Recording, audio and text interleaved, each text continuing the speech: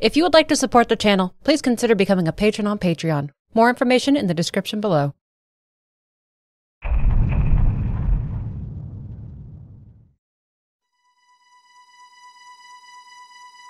That poor girl. Link can't let it go. What happened to her? What took the light from her eyes? There's a land to save. Termina is sickly and dying. Time is running out once again. But Romani Ranch, so troubling to him. But he can't forget why he's here. He's supposed to be the hero of Termina, right? And he has to deal with the salesman. Get the mask back, not save some girl on a ranch. What would the smiling man say about that girl? Tick tock, tick tock, probably. But no, no, some things cannot be allowed, and he can't harden his heart to this. Link decides that he must go back to that ranch. As a Goron, he gained the ability to use massive powder kegs that can clear out the boulder blocking his way. This is a personal errand now. First up will be Romani Ranch. And here, in the late morning of the first day, things are far more peaceful and welcoming than before. The girl Romani, she runs around carefree with her little bow and arrow and cheerfully greets Link, who she nicknames Grasshopper because of his clothes. But then, oh, a thousand yard stare overtakes Romani, and she tells Link that they are coming. They. They come at night, every year when the carnival approaches. They come riding in on a bright shining ball. A whole lot of them come down. And then they come to the barn.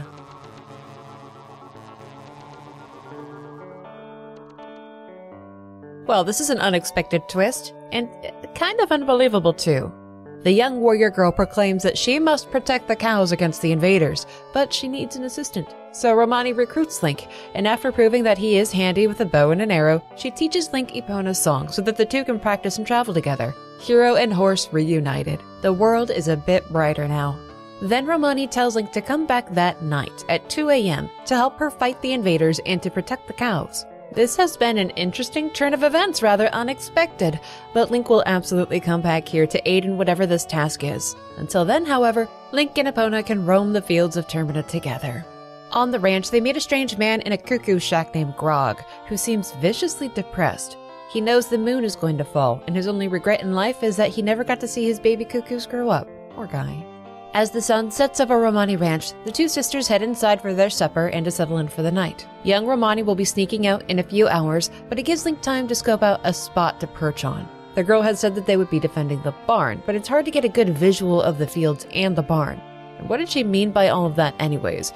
Who is going to be coming for the barn? Undead Gorons? Zombie Deku? The boy has a few hours to mull over all the possibilities. Maybe she meant bandits, or a pack of raving mad cuckoos. The cuckoos would actually be scarier than the bandits. Right at 2 a.m., the girl sneaks out of the main house and runs for the barn. It's showtime. And at 2:30 a.m., lights enter the fields from the sky. Aliens or ghosts? Alien ghosts are coming straight for the barn. No doubt they want some of that sweet, sweet Chateau Romani milk, and I mean, who can blame them? There are few joys greater in life than getting blitzed off of m- milk. These are the they that Romani knew would be coming for the cattle. And for all the rest of the night, Link runs about the house rooftop and around the barn to shoot the invaders, with the trusty ranch dog there to help keep track of them. Around and around they go, with waves never ceasing in their approach. When one goes down, another pops up to take its place. Safety will come with the sunrise if you can just hold out against them. Romani is in the barn protecting the cattle, but if even one gets through, then it's game over. The girl is not a trained combatant. He has to keep them all away from the building. After hours of shooting and chasing, finally, finally, the sunrise vanquishes the invaders. He actually did it. Romani Ranch is safe. No harm came to the girl or the cows, thank goodness. Romani rewards Link with a bottle of their signature milk, along with directions on how precisely one drinks milk, and then she quickly hurries back inside before her big sister wakes up. With the road out of the ranch open and nothing amiss on the property, Cremia can deliver a shipment of their milk to Clocktown. She will be heading out after her work is done at about 6 o'clock that night and she invites Link to join her on the wagon ride if he would like. He doesn't really need transport around, but it sounds like a pleasant experience, and maybe he can help her out, you know, if something should come up. So, sure, why not? This cycle is dedicated to Romani Ranch, so Link hangs out until that evening. And at 6 p.m. sharp, Cremia is waiting outside the barn with a loaded up wagon, ready to start their journey to Clocktown. It's a calm night, a pleasant scene to help Link find some peace with everything that he's experienced thus far. It's just a simple wagon ride into town, and he's there to just be company and an extra set of hands should Cremia need help. Epona will stay with Romani to help guard the property just until Cremia returns, and they'll be fine. During the trip, Cremia opens up to Link a bit about the death of their father, the difficulties running the ranch. She has a lot of responsibilities to attend to running that place, and she's trying to raise her sister. Vandalism has been taking place, Romani has been learning to use weapons and goes on about ghosts. The moon has her deeply concerned. Her friend Anju is supposed to be getting married the next day, but will the moon fall? There's a plethora of things to worry over right now. And to top it all, the road into town has been gated shut. The path is blocked, and it should not be. Someone did this intentionally. Cremia tells him to get his bow ready. They're going to detour into foul country. Gates continue to force them along a path that Cremia does not like. It has them both on edge. They're going around the property of the Gorman brothers, and if Cremia's concerns speak to anything, it's that this is not a safe place to be. Two masked men wielding pitchforks attack the wagon and give chase. It is blatant who these men are the Gorman brothers. I mean, they have signs all over their property and along the solitary road. Why even bother trying to conceal their faces? Cremia has been victim to acts of vandalism at the ranch, and these are the two responsible. They ride strange mules, attacking the wagon to attack the product in the back, intent on breaking every bottle they can reach. But they weren't expecting Cremia to have a bodyguard. As they draw in, Link unloads arrows into them to push them back, all through the wild country road they chase, relentless and malicious in their intention. But their pursuit breaks once Cremia gets them beyond the Gorman property. What terrible, cruel, awful, gross men. Cremia is beyond gracious to Link for his help. She sings to him praises and thanks, then gifts him the Romani's mask, a very special item that will get him entrance to the milk bar Latte in Clocktown. And those masks are only given out in extremely limited quantities, and it's an acknowledgement from Cremia that Link is a mature young adult. This is the end of his adventures with the Romani Ranch sisters, but he won't forget their kindness. He has some time left before he must reset time, so he takes a trip into Clocktown to check out that bar. Latte is very fancy indeed, and not a lot of people are in it. But there is a Zora here. His name is Toto, and he's the manager of the Indigo-Go's, except he's not here for happy reasons. Latte was going to be a performance venue for the band to perform at, but it was canceled. He wished he could do a sound check, but there are too many spots on the stage that need filled and not enough Link to fill them. Since there's not much happiness to be found in the bar, and who would have thunk that bars could be depressing places, Link decides to take off early, leave the adults to their drinking. His time is starting to run short, and he has accomplished what he set out to do. But before departing this cycle, he drops by the laundry pool as the sweet siren call of a phonograph rings out? They said he was much too loud when he practiced in his room. They got mad. Now he's sad. He just thinks about the past to keep his mind off the bad. Long ago, this strange man was in an animal troupe. Why could a, why could a, why could a man join? That's cause a man is an animal too. The animals in the troop were all great, but there was one thing he didn't like about it. Why was the, why was the, why was the dog the leader? Was there something wrong with him? The dog was an amazing leader. He led a stellar troop no matter the animal. That's why he, that's why he, that's why he stole it. The dog's mask. He wanted it because it was the leader's mask, but he no longer needs it, so he gives it to Link. And scene. This mask is meant to lead tiny animals. It will help them mature quickly into adults in an instant. And hey, that guy Grog back at Romani Ranch, didn't he want to see his baby cuckoos grow up before the moon fell? It's kind of morbid, but maybe Link can help do one more good thing this cycle. Make Grog happy. It's the morning of day three by the time Link gets back, plenty of time to test this theory out. He dons the Bremen mask, starts playing a tune, and marches around the cuckoo yard. One by one, each of the chicks follow Link around, and when he's gathered them all up, they start to mature into full grown cuckoos. This was Grog's only wish, and Link made it come true. He's perfectly satisfied now, and gifts to Link the bunny hood. It will help him run super quick whenever he has it on. Well, it's time for Link to call it quits for this cycle. It's getting easier to accept that everything will be undone. He knows that he can't save everyone, he has to let it go, but seeing all the happiness he created this cycle, it restores some faith in what he's doing. He knows that the goal is stopping the moon, but maybe, just maybe, everything else will fall into place if he can do that. One step at a time. Harden your heart, hero.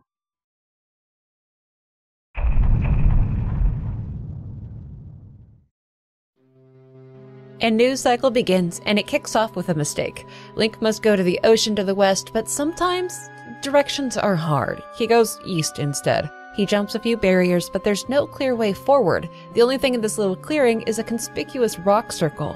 The lens of truth reveals a lone, sad soldier named Shiro, who is so uninteresting that no one has ever stopped to talk to him before. He's been here for years, he says, waving his arms, asking for help. Link gives the poor guy a potion that will get him back on his feet, and to repay his kindness, Shiro gives to Link his mask, the stone mask, which will make him just as boring and uninteresting as Shiro. With his health restored and his mask cast aside, Shiro jumps to his feet and begins his journey in learning to stand out in the world. Link clearly wasn't meant to come this way, so he backtracks back to the fields of Termina and goes the proper direction towards the ocean. This is his first time at the seaside. It's deep, wide water as far as the eye can see. It seems pretty peaceful. Some boats and sunbathing spots are still set up. Nothing is apparently wrong. No poisonous waters, snowstorms, mice with bombs on their tails. While he's not quite familiar with the birds here, a group of them are flocked around something in the water, quite like vultures circling a dying creature. And they're above something that's bobbing in the water. That's concerning. Swimming out into the open waters, Link finds himself hauling a Zora out. The Zora are water dwelling people, but this creature is so injured that he can't even get himself to the shore. He was stranded out in the water, weakly calling for help, but getting him to the beach isn't going to save his life. He's far beyond that point. It's a marvel that he can even walk once he's back on land. He doesn't make it very far before collapsing. This Zora is named Mikau, and he has only a few minutes of life left to explain his plight to Link, and he will do so in song.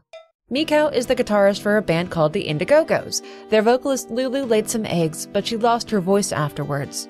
And then Mikau sings that the pirates stole Lulu's eggs, so in secret, he went to their fortress to get them back, only to be grievously wounded and tossed out, left for dead. His final request is for Lulu's eggs to be saved and for his soul to be healed. It's all he can get out before once again collapsing.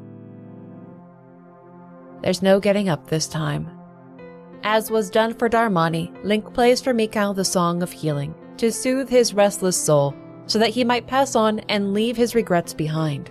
In Mikau's lingering moments before death, he sees Lulu. She's looking at him, recognizes him, the sadness gone from her eyes.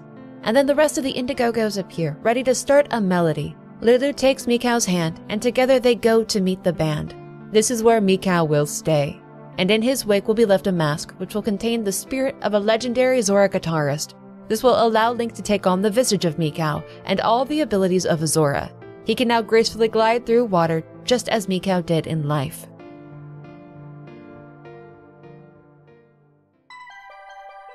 The home of the Zora is not far away, just on the other side of the cove. And just like the ocean outside, the water isn't poisoned or frozen or boiling or gone.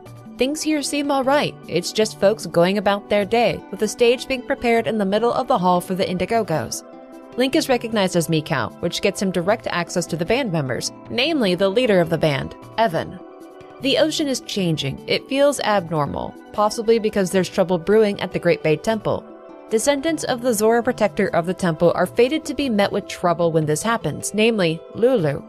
Upon seeing Link as Mikau, Evan asks him if he got the eggs back, and that he hasn't is distressing, Lulu has taken to standing outside, staring at the ocean, not attempting any communication anymore. Evan believes that if they can get her eggs back, her sadness will fade and her voice will return. He's kept her situation a secret, but the Indigo-Go's are supposed to be performing at Clocktown. The carnival is in just a few days. He won't be able to cover up the situation forever and believes that Mikau has the blood of a Zoran hero. He is the only one who can fix this. Link chases off a creepy stalker from Lulu's private room, and inside he finds her diary, which he reads with no hesitation, as though the dirtbag outside wasn't bad enough. But in her diary, Link discovers that Lulu took her eggs to the Marine Research Lab at the behest of Evan after her voice faded away, just to have them checked out. It was after that trip that the pirates broke into her room and stole her eggs under the cover of night. Telling Mikau about the theft made her feel better, but he was the one person that she didn't want to tell. She was embarrassed and sad. She tried to keep it a secret. If Lulu knew what had become of Mikau, her heart would break all over again and anew. Lulu herself is standing outside the Zora Hall, all alone, staring out at nothing. She looks to him with recognition and a moment of hope, but seeing he's empty handed, she loses the light in her eyes again. Like she's trying to tell him something, but she just can't. After learning all of this, it feels like a heavy gloom is sitting over the ocean now, a stark contrast to the happy mood of Romani Ranch. Lulu's diary made mention of a marine research lab taking care of the eggs before they were stolen, so Link decides to drop in under the guise of Mikau to sniff out any more potential leads before taking off for a pirate fortress. And the elderly researcher is in fact expecting Mikau and the eggs, and that he doesn't have them yet is irritating to the old man. So, this is where they need to be delivered. He will take care of them, and he's expecting seven in total. Good to know. Up the coastline is that fortress. It's a massive complex and it's well guarded by an all female clan reminiscent of the Gerudo from Hyrule. If they spot Link, he'll be violently ejected. But to add complexity to the situation, there are traps to avoid all around the fortress. But it seems that fate has been on Link's side. That mask that he got from the wounded soldier, Shiro, it makes Link so plain, so uninteresting, that he's practically invisible while wearing it. And with the stone mask on, Link doesn't have to creep around the corridors dodging patrols. He just walks right past the guards. But even with the aid of the mask, this place is hard to make heads or tails of. There's not an egg in sight, but confusions are eased and more complications yet arise when Link comes across a heated moment between the leader of the pirates and one of her lieutenants. Three of the seven eggs were lost at sea when they were attacked by a massive sea serpent. Oh, good. Oh, good. They originally took the eggs because the Skull Kid had told them that they were the key to getting into the Great Bay Temple, which is obfuscated by a dragon shaped cloud. If they can get all seven together, then they'll be able to get into the temple and they'll find hidden treasure within. Of course, that's not true, but they believe the Skull Kid, and they'll do anything to get that supposed treasure, even steal a new mother's babies. Unfortunately, for the pirates that is, they're not the best at upkeep. Because there's a bee's nest in that room, and it sure would be a shame if somebody broke it, especially since there's an egg in that room that they're guarding and some sort of a treasure. Oh golly darn, Link shot down the nest, and oh no, everyone's fleeing! Anyways, the treasure in that room will come in handy. It's a hook shot, Link wielded this once upon a time as an adult, but it's perfectly workable in his child form as well, and it will aid him in collecting Lulu's precious eggs. Four are hidden within the fortress, three are someplace out at sea. Good. The prospect of deep sea diving is a bit terrifying, so for now, Link will spend some time here in the fortress just taking his time to clear it out, not because he's afraid of the dark water. It's just time consuming. One by one, he finds them spread out around the compound. They're guarded by well trained pirates that would rather fight him than just throw him out in fair one on one combat. And each combatant he knocks out honorably leaves him to continue his search through the fortress rather than call in backup. By midnight, all four eggs are collected from the fortress and delivered to the Marine Research Lab for treatment and observation, which leaves three more, which were lost at sea after a massive sea snake attacked. Oh, good, good, good, good, good, good, good. This is going to be awesome. Oh, good. Apparently, there is a sea snake nest at Pinnacle Rock. It's just visible off in the distance, so it's not terribly hard to find. Link saves a golden seahorse from a nearby fisherman, gaining him a personal guide through the murky waters of the ocean, but eventually he has to confront it. And it's deep into the night when Link finds it a deep, dark hole in the ocean floor that's filled with nesting sea snakes and every cavern has to be checked for an egg, starting from the top all the way down to the bottom. Each snake that Link passes by comes out to greet him with a thrashing head and a low moan. This is a get in and get out as quickly as possible kind of a situation, but the final three eggs are safely recovered and removed from the lair. All seven eggs are now safely under the care of the lab researcher. Wonderful news that can finally be delivered to Lulu. But to their surprise, they all begin to hatch. Little baby Zoros begin to flutter around the tank, and then yet another surprise. The little guys are all lined up to form the notes of a song that Link can learn. It will be called the New Wave Bossa Nova, a song meant to restore their mother's voice. The researcher urges Link to go find Lulu. Play this song for her. It's meant for her. In the form of Mikau, Link rushes to Lulu and plays for her the song her children created. And sure enough, Something about it draws her voice out again. Lulu sings freely and joyously, accompanied by Mikau on guitar. The restoration of her voice awakens a nearby sea creature, a great turtle that acts as a sort of keeper to the Great Bay Temple. Though the turtle has slumbered for many years, he's still aware of the goings ons within the ocean, and he knows Lulu by name. The return of her voice acted as a signal for him to awaken and offer guidance to the Zora warrior that he would meet, namely Link. Atop the back of the Great Turtle, the Hero of Time now has access and transit to the Great Bay Temple. It's time to cleanse it and save another giant. This facility is almost a factory, but what purpose it serves isn't really known. Maybe this place helps keep the oceans clean.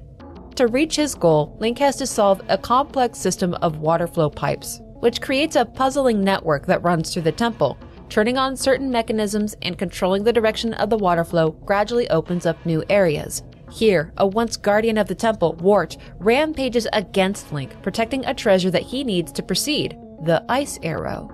From the morning of the second day deep into the night, the hero struggles against this test of patience and planning, and this place truly is a test of the Hylian spirit to overcome. Finally, the hero reaches the chamber leading down into the heart of the temple and the lair of what now plagues the Great Bay. A massive sea beast called Gyorg has disturbed the waters of the sea and holds captive the third giant that Link seeks. This fight is a balance of finding his aim and acting quickly to follow up. Gyorg can be hit from a distance and stunned, but Link must enter the waters to continue his attack. But should Gyorg recover before Link can leave the pool, it will try to consume him. Through the dark hours of the night, the two fight it out in the depths of the temple. Gyorg even takes the hero down a few times before finally Link ends the monstrosity. Gyorg will no longer pollute the waters of the Great Bay, nor hold captive the guardian of this region. Link claims the mask that once imprisoned the innocent spirit trapped by Gyorg, and again, he goes to have a brief conversation with them. Tatl no longer waits for the Guardian to speak. These creatures seem passive, unacting, unwilling to communicate fully. She screams to the giant that if they don't do something, then something terrible will happen. The only response she receives, though, is, Help our friend. Tatl assumes this to mean they must free the final Guardian, but what if instead there was a way to help Skull Kid? Tatl doesn't just let the Guardians make more requests, she issues one in return. She asks for a guarantee of cooperation, but the giant doesn't respond to it. They are sent back to the Great Bay.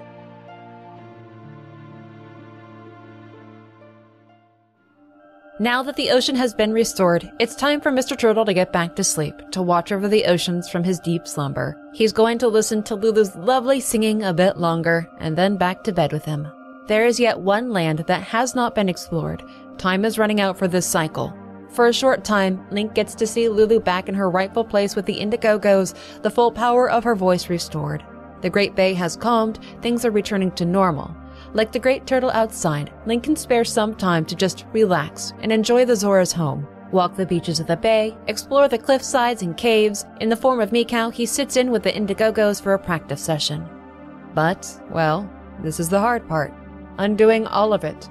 Return Lulu to her heartbreak, bring Mikau back to live out what remains of his life, let the Great Bay become murky and polluted again. It's how things must be. The monkey in the swamp will face torture. The Goron will suffer a freezing, creeping death on the mountain. Romani Ranch will be attacked at night. Lulu will again spend her days staring out at the sea, unspeaking. He can't save them all. He can't help them all. But out of desperation, Link goes to Clock Town at midnight on the final night. Three of the Guardians are free, so maybe that's enough to stop the moon. Link and Tatl confront the Skull Kid, things play out much the same as before. He plays the oath to order and calls the three freed giants from the corners of Termina. The swamp, mountain, and ocean respond to the song. The three of them lift their hands to try holding back the moon, but it's not enough. He has no choice. It's time to go back to the dawn of the first day. Don't think about anything else, at least not right now.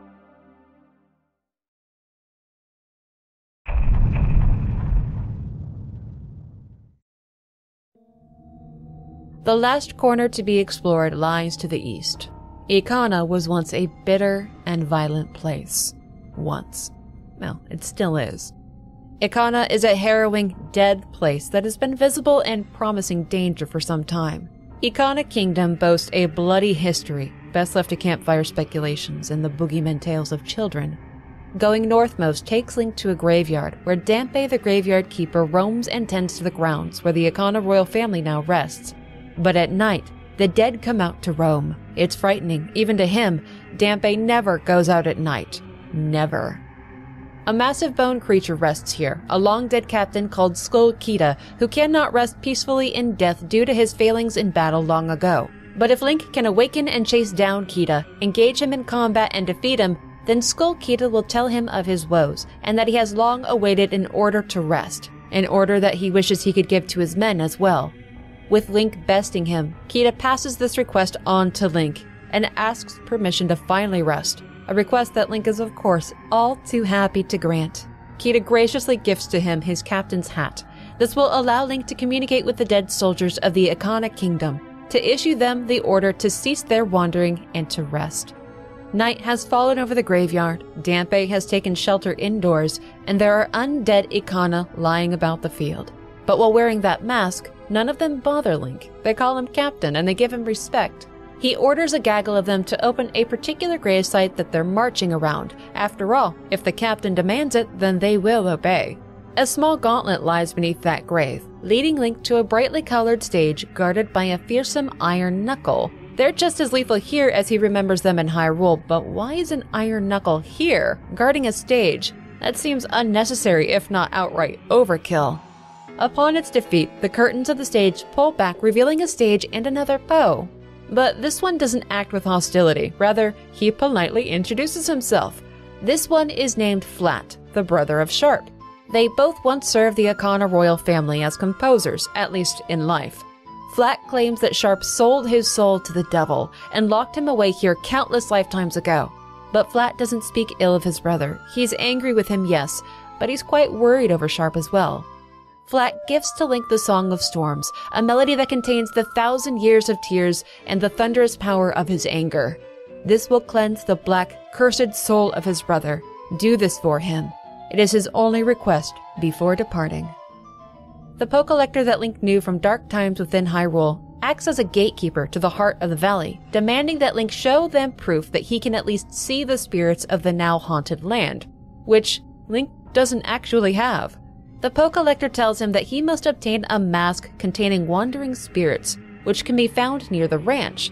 But Link spent like two days running around the ranch. There were no weird haunted masks there. Unless they mean the Gorman brothers? Those two dolts that chased Cremia's cart through the backcountry.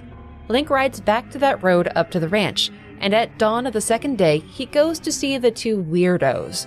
They start insulting Link and his horse as soon as he's in sight. They have some pretty rich insults for two men that can barely dress themselves.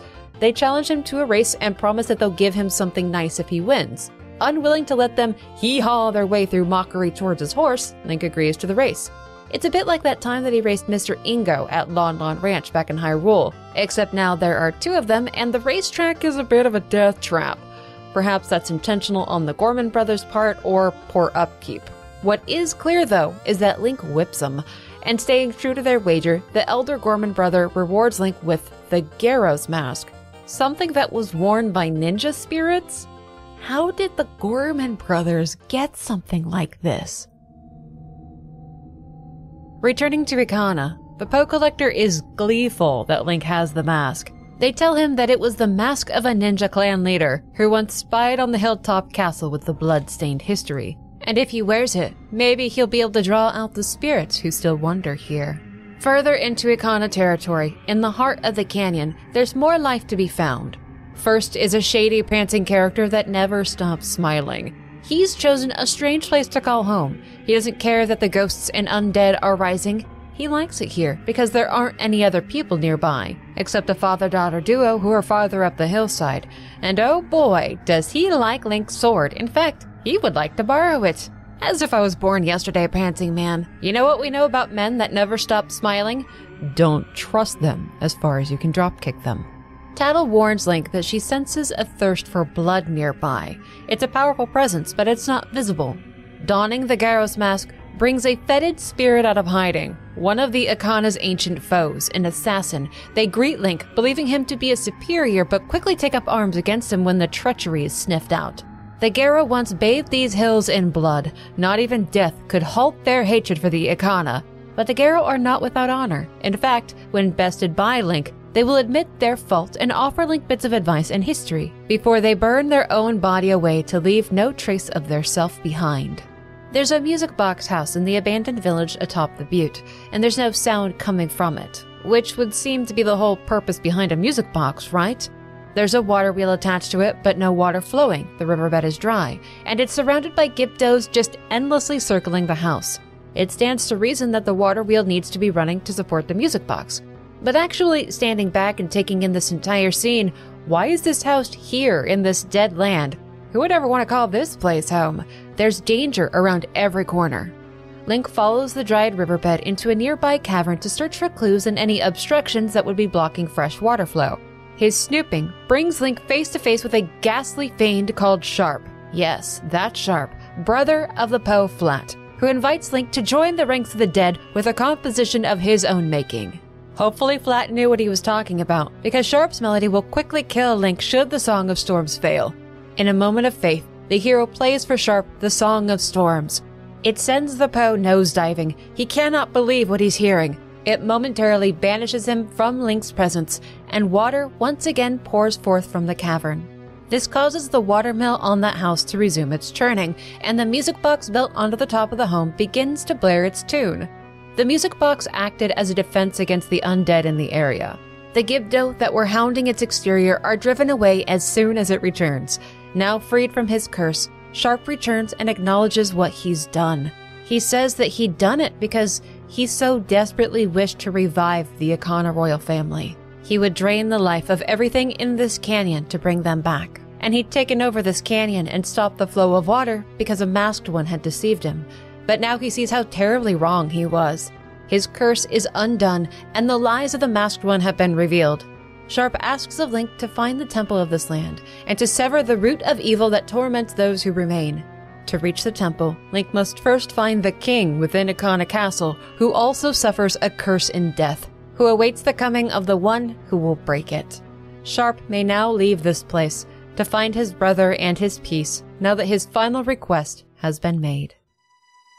A child was in that house. She's completely on her own. She quietly creeps out of the house in this dead land and stares at the newly flowing water. The Gibdo that were stalking the home are gone. She can leave it again. Link tries to run up to the girl to chat, but she bolts back into her home and locks the door as soon as she spots him. She's jumpy, still frightened.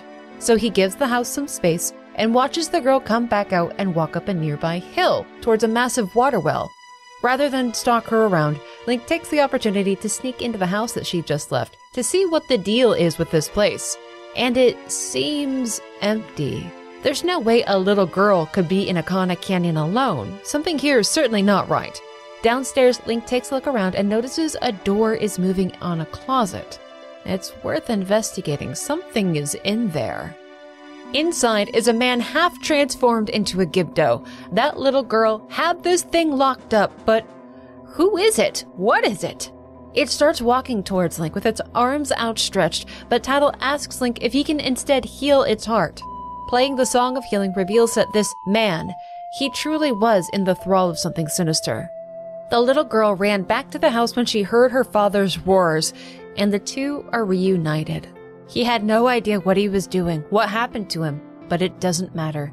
The father and daughter completely ignore Link. The hero takes the mask that was cast away from the man after the Song of Healing, a Gibdo mask that will allow him to speak to the brutes.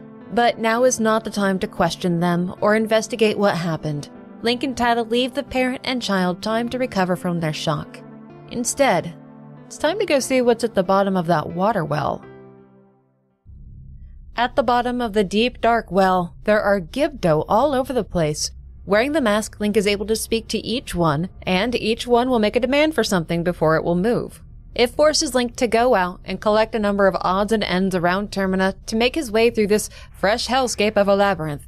It takes him hours of travel and combat to satisfy every Gibdo blocking his path, but the reward for this is certainly worth the effort. He finds the mirror shield at the end of the watery well, it opens up a secret passage that connects the water well to another previously unreachable place, the courtyard of Ikana Castle. Sharp had said that the king was awaiting one who could break his curse, and that doing so would lead him to the temple of this land. The castle is infested with the dead, and after countless years abandoned and hollow, it's decayed into rubble and rot. This was once a splendorous place, an empire to be feared, now occupied by corpses and memories of violence. The Garo that Link brings out of hiding give him hints on how to proceed through the castle and how to face the Great King once he reaches his throne room. It would serve Link well to listen to their wise words. Igos du Ikana died with his kingdom, yet he still sits upon his throne. His guardians never left his side, not even in death. Link should expect a brawl, expect them to do whatever it takes to kill him in that throne room. Igos du Ikana himself led an empire that nearly toppled this land. He could possibly be the most dangerous thing in this canyon.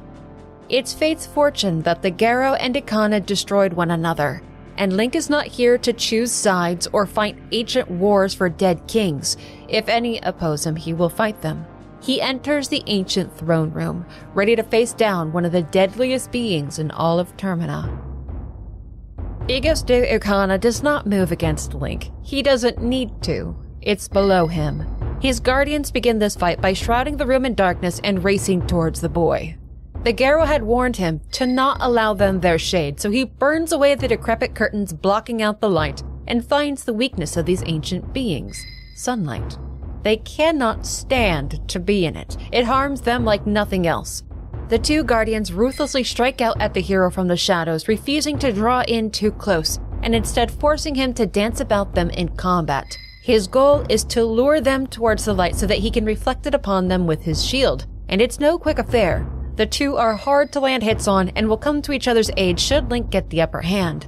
But when finally they each fall and Link burns away their corpses, Igos du Ikana draws his sword and shield and begins the fight anew against the exhausted hero. He's a powerful combatant and can detach his head from his body, forcing Link to deal with him on two fronts. The ancient king nearly succeeds in cutting the boy down, ending his life, but by a hair's breadth, Link manages to bring Igos du Ikana down, casting away the evil curse that clouded his mind. With his vision and thoughts cleared, in the moments before he finally leaves this world, Igos du Ikana reflects upon his old life and the fall of his kingdom. There was so much hatred, so much chaos and bloodshed. But after somebody thrust open the gates of the stone tower, their need for violence sprang forth again, and the canyon fell into the sad state that it is now. It is thanks to Link that the spell binding them is broken.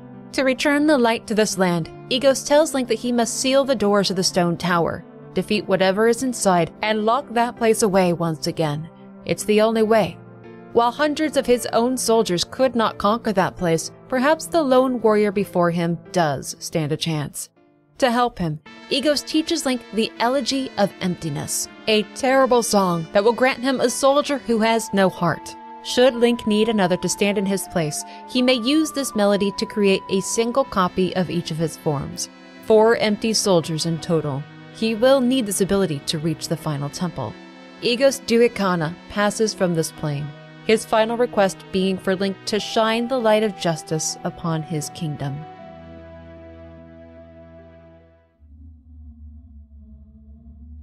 It's almost impossible to feel regret with the end of this cycle. It's the final day, and so much has been accomplished, but the memories of Ikana Canyon, those are best left in the past, so to speak. That girl and her father in the music box, they could be helped once again on his passage through, but that water well, the derelict castle, the undead and skeletal soldiers, the Garo, they're all things perhaps best forgotten. There is yet one more obstacle that he must face. He's seen it far off in the distance time and time again, that massive stone tower.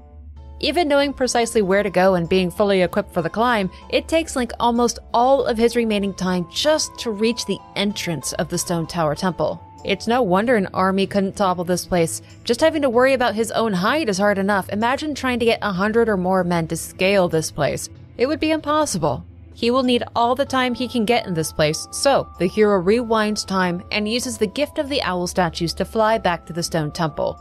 The temple itself, strangely enough, is occupied by machinations and creatures that seem to belong here, which makes one wonder was the Skull Kid incapable of entering this place and really corrupting it? As that's interesting. And though it doesn't reek of Majora's curses, the place is still exceedingly dangerous. While the temple itself may still stand intact as dictated by the flow of time, that doesn't change the fact that a guardian was imprisoned here. It requires the use of all Link's shell soldiers to make his way through. And if that seems tiresome, remember this. If real beings had been here, an army, if they had been used to open these paths, then they would have been trapped once the others had made their way through, left behind, abandoned, with no way to get through. It's one of the many security measures that keeps meddlers out of this temple. Dormant creatures made of stone and metal awaken when Link draws in too close, dangerous combatants that guard doors and pathways. But most curious that Link should meet a still living being here, a Garo master in flesh and blood, and as soon as he sees Link in the tower, he attacks. There is no explanation for why he is here or why he so ruthlessly attacks. That is not the way of the Garo.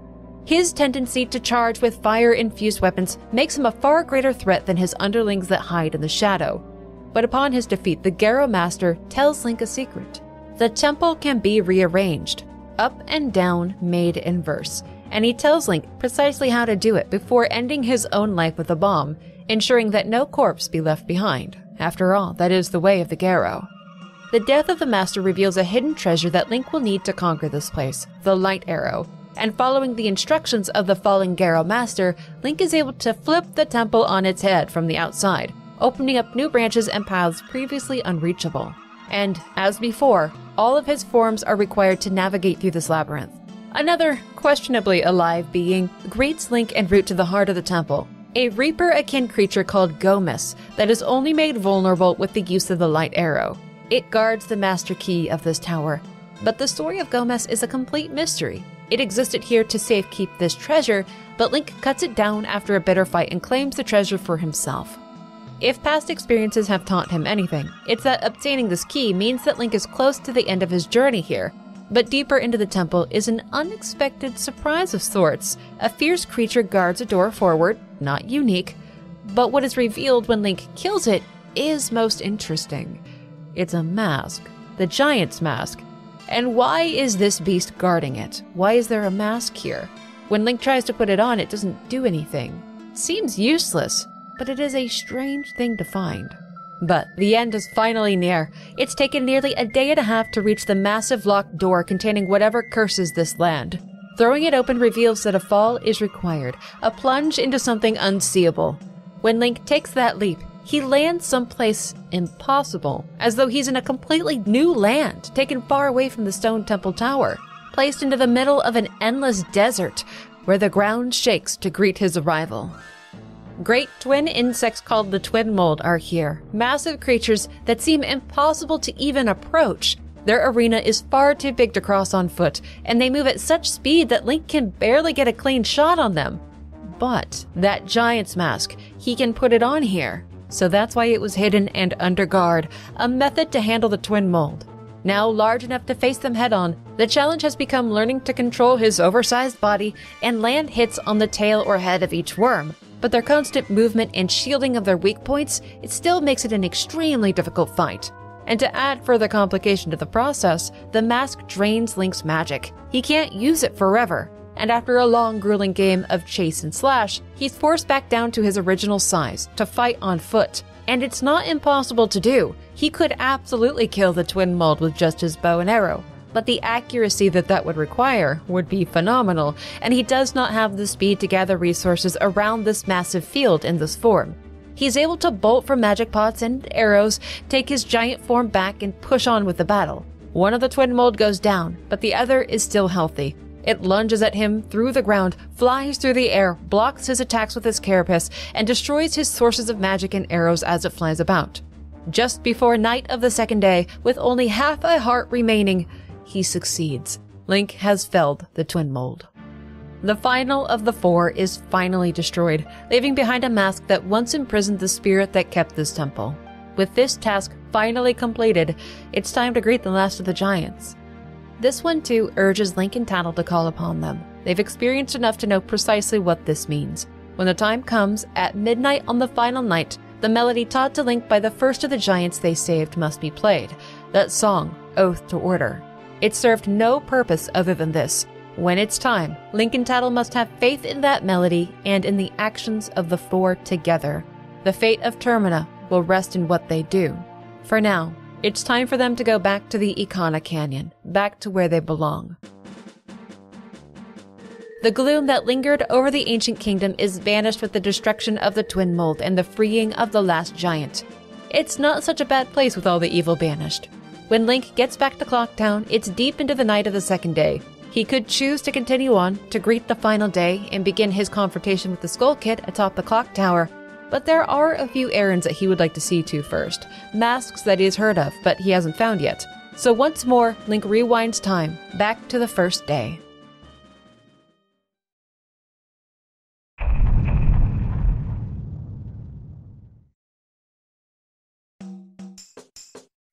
It's bright and early, 6 a.m., time to get busy. But something draws Link's eye. It's a kid wearing a mask coming out of the water pool area. He's seen that kid before, but he's always just ran away from Link, refused to talk to him. What is his deal? Well, anyways, Link takes some time to play a game with the postman, say hello to Anju in the Stockpot Inn, and then rolls over to the mayor's office to see what's going on there. And there he greets the mayor's wife, Madame Aroma. She's kind of a new face to him. She's having a conversation with Toto, the manager for the Indigo-Go's. Madame Aroma politely greets Link and asks if he's the expert person finder that she hired. Or rather, she assumes that he is. Her son, Kafei, has been missing for a month now. She has no idea where he went. He simply vanished without a trace. Madame Aroma gives Link a mask that will give him the authority to investigate Kafei's disappearance. And that mask Oh my, that hair is familiar. Link saw someone that looked like this just this morning. It was that kid at the water pool across town. Link snoops about Kafei's room and he finds his journal. It says, A wedding ceremony is soon. It might be early, but I finished my wedding mask. I wonder if Anju made hers. She tends to do things at the last minute, so probably not. There's a gathering of the fellows at the milk bar tonight. I plan to show off my wedding mask and talk about my sweetheart as best I can. Oh, that's sweet. A wedding ceremony with Anju. Wait, Kafei's a kid. What the hell, Anju? Okay, well, hold on. Maybe Link was wrong. The kid wasn't Kafei. Asking the receptionist about the whole affair confirms that Kafei and Anju are engaged. It's public knowledge, so maybe Anju is the first person that he should see about this. Kafei seemed so in love with her in his diary. He wouldn't just vanish and not tell her, right? Seeing somebody wear this mask, it's a shock to Anju, but she quickly rebounds from it and carries on without a word on the topic. So, she won't be a lead. Who else could Link talk about this? Maybe the mayor? Maybe the captain of the guard? None of the entertainers upstairs have anything of interest to say. Well, this is a dead end. But when leaving the inn, the postman arrives, carrying mail for Anju, and her reaction is quite loud, enough so that it catches Link's attention. Anju tries to ask the postman where he got this letter from, what mailbox, who sent it, but like a strangely stoic professional, he doesn't crack. That's not information that he can disclose, not even to her. Once again, approaching her with Kafei's mask, Anju begs Link for assistance in the matter. She asks him to come back to the inn later that night for a private meeting in the kitchen, and there she can explain more. Well, this cycle just got a lot more interesting. So he has the rest of the day to listen to stories from Anju's grandmother, play a few games at the local shops, meet another Goron named Link, and after night falls and the inn locks up for the night, he sneaks back in through an unlocked door on the second floor. And sure enough, just before midnight, Anju creeps into the kitchen for their meeting. The letter she received was from Kafei himself, and she would like for Link to act as an intermediary between them. She doesn't know where he went or if he's in trouble, but she's afraid of what's happened. She has her own letter to send to Kafei, but she's afraid of doing it, so she asks Link to do it for her, and then he'll be able to meet Kafei. Link agrees to take this burden from her and to find out what has happened to her fiance. The first step will be delivering that letter before dawn. Easy enough. So he drops off that letter and he waits for the dawn of the second day, though he's not really sure what he's waiting for. Maybe the mailman to collect the letter? That, that makes sense. How long is that going to take, though? When is he supposed to come back? Well, that kid came from the laundry pool, and there was a door in the laundry pool that he could never get through, so he decides to go to the laundry pool and just wait behind a tree for the rest of the day. It is deep into the afternoon by the time the postman arrives. He rings a bell, and the purple haired kid runs out to greet him. The two have a brief exchange before the kid bolts back into his hideaway. This time, though, he leaves the door unlocked. It's time to go see what's going on in there. And this kid, he says that the letter Anju wrote said that Link could be trusted, so he's going to tell him a secret. He's Kafei, all three feet of him. Ooh, yikes. This is really, really complicated. Complicated, but not problematic. The Skull Kid did this to Kafei not long before his wedding. He tried to get help from the Great Fairy in North Clocktown. But on his way there, somebody ambushed him and stole his wedding mask. A grinning, prancing man. Kafei is good friends with the pawn shop owner in town, and he knows that stolen items tend to wind up there. So, with his friend's permission, he's been held up here watching out for anybody that would come through with his wedding mask. And Link has met a man that fits that description in Ikana Canyon. He really wanted to borrow Link's sword, if memory serves. It's certainly possible, if not likely, that he is the culprit, that he targeted Kafei because he was a kid and couldn't fight back. Kafei will remain here, watching for the weird man to walk into the pawn shop. Link will go give Anju a pendant. It will serve as a promise to her, one that she'll understand. It's a promise that Kafei will return soon, that he has not abandoned her, and he certainly hasn't forgotten her. Receiving this is such a relief to the poor woman. It makes her so happy, and she tells Link that she has decided she will wait for him. Her mother and grandmother are preparing to flee the town, but Anju will not go with them. Here she will stay until Kafei reappears. Early the next day, Link decides to go talk to Kafei to give him the good news, tell him what Anju said. But when he arrives, the door is locked. Kafei doesn't answer. So maybe this is just the end of this particular mission? They failed? Time to give up, perhaps? Anju doesn't say anything about Kafei reappearing, so did he just really vanish on her? Right before their wedding? That would be terrible. Later on in the afternoon, Link comes back one more time just to see, and to his surprise, the door opens, but it isn't Kafei that's inside. It's the pawn shop owner. This guy always seemed as shady as the forest, and he's been fairly unpleasant to deal with. I mean, the guy does business with thieves, but he was also a good friend of Kafei's, and he wants to help the guy out. He gives Link one of his own masks, the Keaton mask, just because he seems nice. He likes the kid, and that's all the reason that he needs. So maybe the pawn shop owner isn't such a bad guy deep down. He also asks Link to deliver some express mail to Kafei's mother, probably to tell her about what's happened to him. But where did Kafei himself go? What did happen to him? The shop owner tells Link that a thief went into his shop the other night to pawn something, and Kafei had a full on rage fueled episode. He took off after the thief, probably back to his shelter. The thief is named Seiken, and his hideout is indeed in Ikana, so it was that guy, that happy, prancing, let me borrow your sword for a minute guy. Kafei decided to go handle this himself. Oh no, Kafei, what are you getting yourself into? Madame Aroma is nowhere to be seen, and the day is drawing to a close, the final day. There's not much time left. Link decides to make a run for the canyon, to where he knows the thief Seiken hangs out. Maybe he can find a solution to all of this there. Running up the river leads the hero to a sealed off lair, marked with a sign designated as Seiken's hideout. Not very discreet, but Seiken also doesn't seem like the brightest of bulbs either. Good news is, Kafei isn't around yet, so Link has managed to beat him here. Link decides to hide behind some nearby rubble to wait for any activity, because somebody has to appear here eventually, and he'll wait as long as he possibly can for that to happen. Finally, after night falls, it's Kafei who appears. Thank goodness. The two meet up behind the rubble to discuss his plan. They're going to wait for Seiken to return, let the thief open the locked doors, and then rush in after him to get the mask back. It's a pretty solid plan. It's one worth waiting out. And one hour later, Kafei is again proven right about the thief. He arrives right as expected and opens the door to his hideout, leaving it wide open. And Kafei doesn't miss a beat. His precious mask is sitting atop a conveyor belt in the middle of a warehouse. Who knows what else Sagan has stowed away here? And Kafei, oh, almost immediately sets off the hideout security system, locking down the doors, turning on the defenses within each room, and starting the conveyor belt with his valuable mask atop it. If they can't reach the end of the belt before the mask, it will be dumped out of reach. They're on a time limit now to solve each of the puzzles in the rooms. They have to work together, with one opening the door for the other. Link takes the combat heavy side, whilst Kafei takes the puzzle oriented gauntlet. Each of them have to make it through all of the rooms and stand atop a deactivation switch at the back of the lair. If one of them fails, they both fail. But together they manage to make it through. Each of them reach their switch and stop the conveyor belt from dumping Kafei's wedding mask. Time is running out. It's just past midnight. If they both run, they can make it back to Clocktown just before the end. Link is able to soar back, quickly landing back in Clocktown. It gives him just enough time to find Kafei's mother, Madame Aroma, to deliver that special letter, to let her know what became of her son.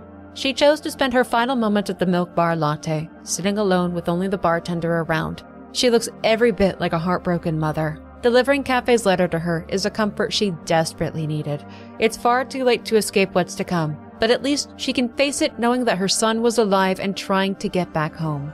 And next is Anju.